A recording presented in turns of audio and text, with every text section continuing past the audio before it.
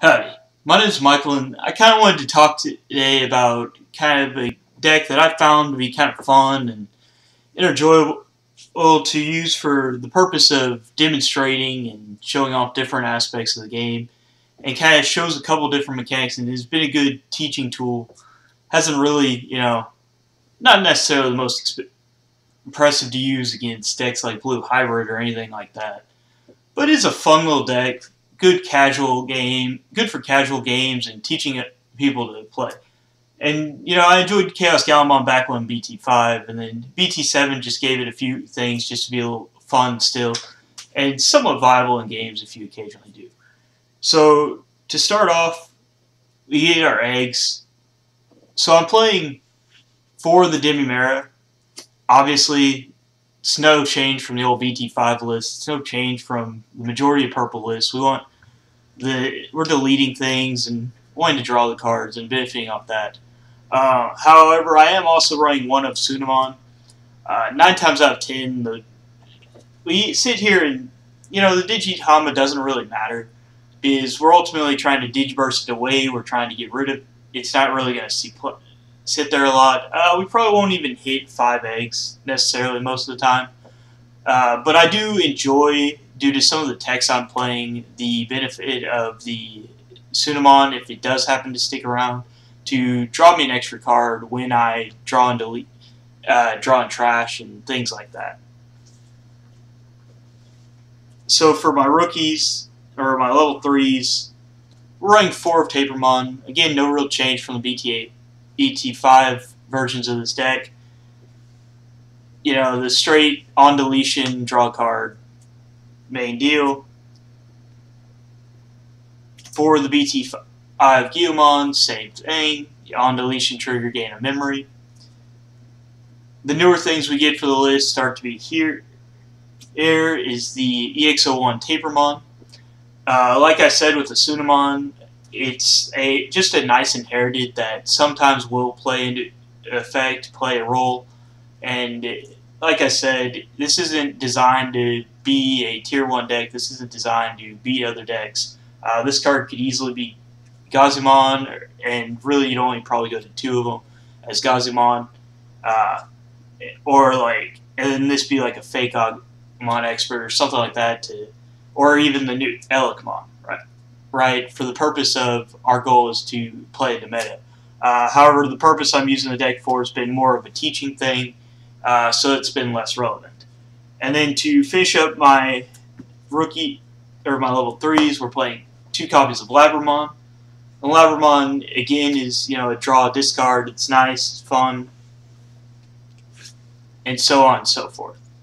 Uh, just a good little fun allows triggers for the Tsunomon and for some of the other techs we're doing in the deck. We get to level 4s. We're running Black Growlmon.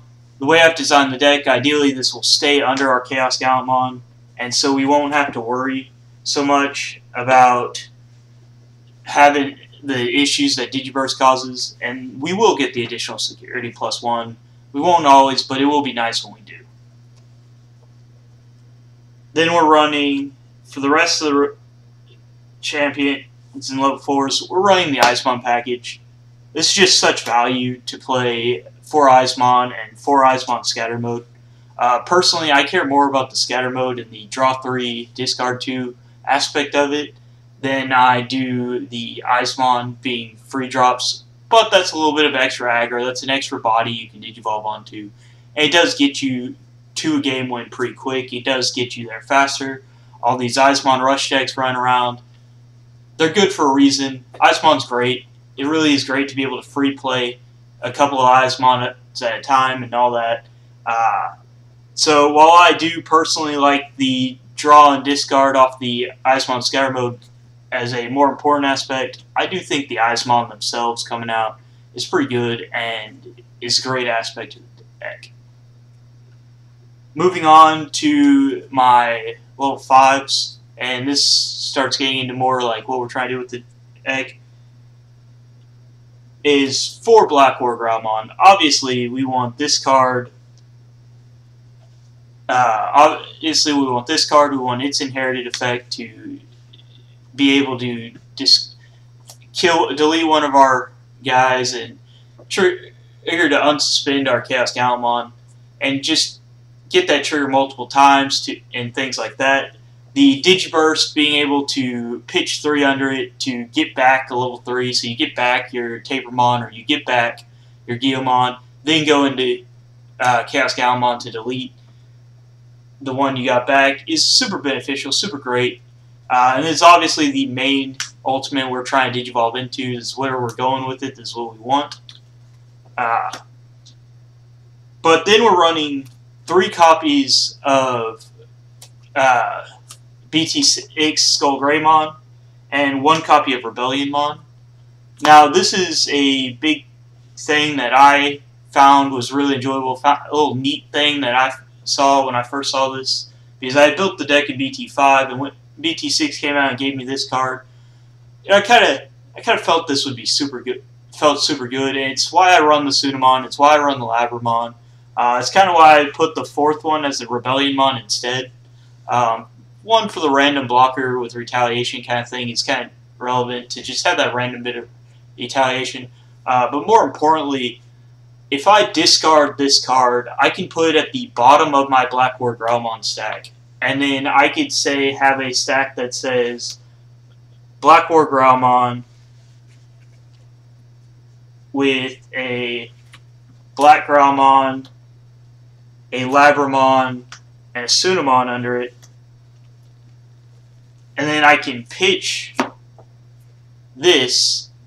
It goes to the bottom of my black Growlmon, and then I can remove these three for the Digiburst to get back and get back to Labramon, and then I still have a black Growlmon with a security plus one, black war Growlmon with a security plus one arm, and so that's kind of the idea behind running the Skull Greymons. So that's where I chose to do Skull Amon and Rebellimon as the other four uh, other four level fives for this deck. So that brings us to level six. Obviously, we're running our board Chaos Galamon. You know that's the whole premise of this deck. That's the whole deck tech video or deck profile video we're doing. That's what we're talking about here. We want this guy.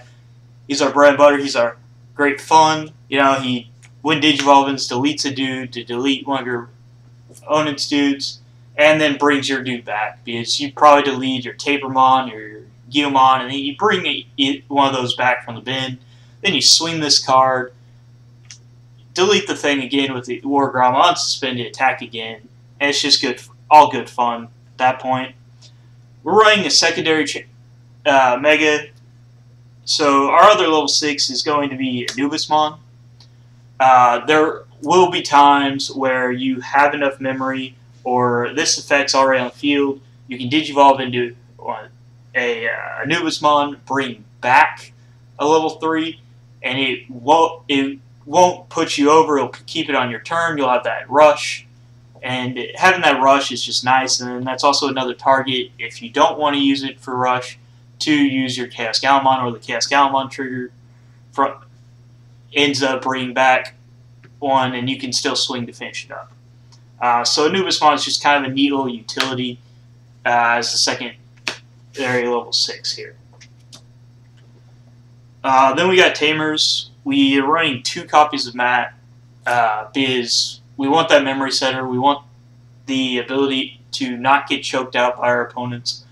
Uh, however, it's also a secondary like recycle so if my Chaos Gallantmon goes to the trash or something else I need goes to the trash, I can get it back with, you know, Matt. And that's just nice to have. Uh, I'm also playing one copy of the Sora Mimi. It's probably the most underused of the uh, dual tamer cards that came out in BT6. Uh, as, you know, nine times out of ten, the extra memory is not really going to happen right now uh, given that you, especially in hybrid format with Pokemon's running around and Nemon, you know, uh, preventing you your opponent from having that. Uh, however, the draw discard effect I find in this build and in my Titamon build uh, is heavily beneficial, and occasionally that memory does become relevant. Uh, that's why it's just a one of, and I just kind of enjoy having that extra bit of draw and discard available. Uh, and then for options, we're running two fly bullets as our source of removal um, instead of Trump Sword, uh, just because this card hits most threats and it doesn't care if they're suspended or not. So if somebody's like doing what I'm doing with here and unsuspending before the security trigger and stuff like that, uh, the fly bullet should will still hit them. Uh, we're running one glaive memory boost as it's nice to do basically the same thing as Matt does and provide a little bit of extra memory. Um, we're also digging with purple two copies of purple memory boost. Uh, personally, I might change that. It's kind of iffy just to have. I might just go one and one glaive and purple. Uh, haven't fully decided. Uh, and then I'm running three copies of Demonic Disaster.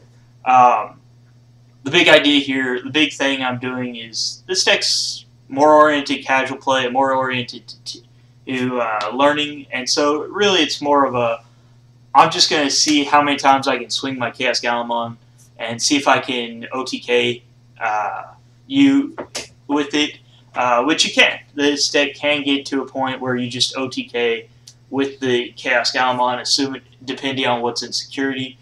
And so it's been kind of more of a teaching deck, and it's been it's fairly efficient at that. It's you know, it's a strong enough that if you're a new player going against it, the consistency of it makes it hard to deal with, uh, while at the same time being a weak enough deck that it's not like you're being oppressed by a deck like Blue Hybrid or something like that, uh, where the deck just you know demolishes you.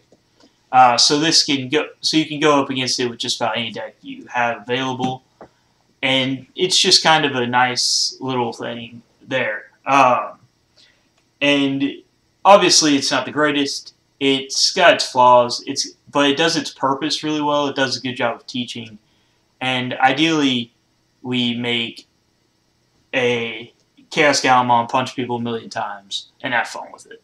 Uh, it's fun to watch, fun to play with, uh, fun to play against.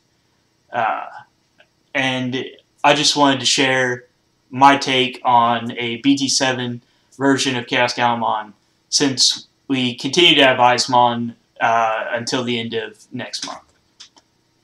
So feel free to comment, uh, present your opinions, see if you like it, give the deck a try. And uh, just remember to have fun.